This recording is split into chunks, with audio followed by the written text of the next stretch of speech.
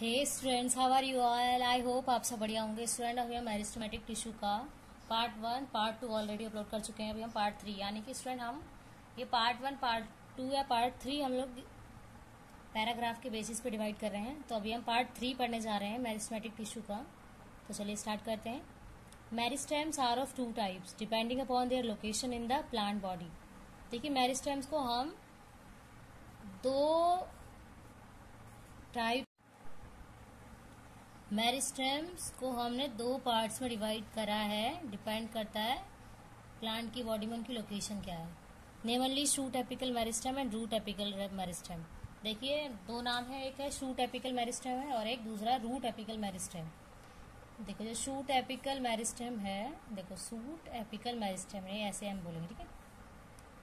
Gives rise to organ like the stem leaves flowers while the root apical देखिए। पहले हम shoot apical की बात कर लें स्टूडेंट देखिए शूट एपिकल जो है,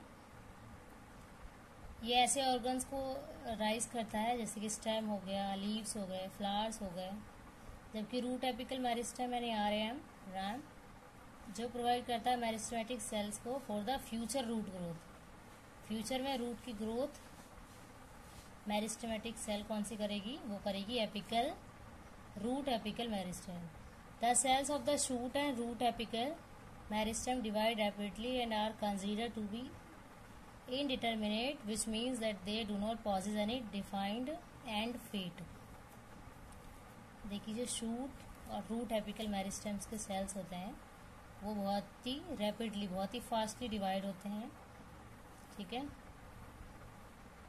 जिसका मतलब ये है कि ये do not pose any defined end fate इनका कोई डिफाइंड एंड फेट नहीं है ठीक है रैपिडली ग्रो करते रहते हैं। जैसे मैं आपको डायग्राम शो करूँ। तो देखिए डायग्राम है ए वाला। ये मेरिस्टमेटिक सेल है।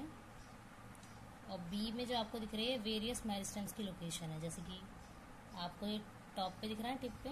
ये है एपिकल मेरिस्टम यहाँ पर इंटरकैलियरी मेरिस्टम और ये लेटरल मेरिस्टम ग्रीन दिख रहा है side side portion I hope student आपको समझ में आया होगा।